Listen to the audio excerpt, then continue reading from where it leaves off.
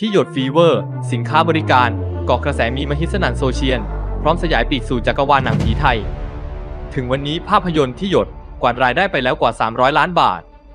ครองสถิติภาพยนตร์ที่ทำรายได้ผ่านหลัก 100 ล้านบาทเร็วที่สุดในปีนี้ โดยใช้เวลาเพียงแค่ 3 วัน และคาดการว่าน่าจะพุ่งแต่หลัก 500 ล้านบาท หรืออาจจะมากกว่านั้นในช่วงวันหยุดสุดสัปดาห์นี้อย่างแน่นอน รายได้ของที่หยด ถ้าเทียบกับความสำเร็จของสับเปลออาจจะไม่ได้น่าตื่นเต้นเท่าใดนัก ด้วยต้นทุนที่ต่างกัน เริ่มมาจากเนื้อเรื่อง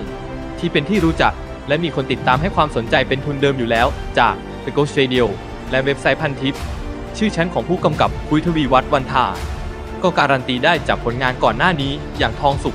13 ที่ทำเงินไปถึง 37 ล้านบาท ไหนจะนักแสดงนำระดับ แม่เหล็ก อย่างนาเดชคูกิมิยะ ซึ่งไม่บ่อยครั้งนักที่จะมาปรากฏตัวบนจอ ภาพยนตร์ และประเด็นสำคัญที่ธี่หยดเหนือกว่าสัปเหร่อทุกประตู ก็คือพลังของการตลาดในการโหมโปรโมทเพราะมี backup ชั้นดี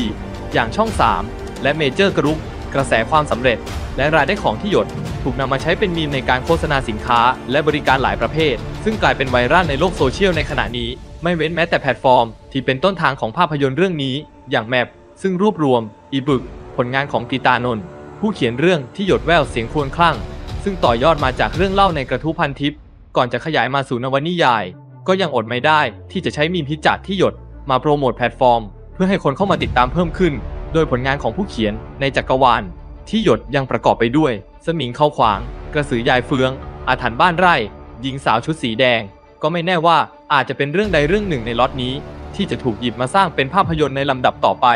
เพราะกระแสเรียกร้องอยากให้สร้างภาคต่อออกมาหนาหูมาก และมีแนวโน้มว่าจะพุ่งเป้าไปที่เรื่องราวของยักษ์ ซึ่งรับบทโดยณเดชน์เพียงแต่กำลังหาว่าจะใช้โครงเรื่องไหนมาห่อหุ้ม ถึงอย่างนั้นก็นับว่ามีโอกาสเป็นไปได้สูงมาก ที่หนังผีไทยจะมีจักรวาลของตัวเอง จากการบุกเบิก และรากฐานอันแข็งแรงของที่หยด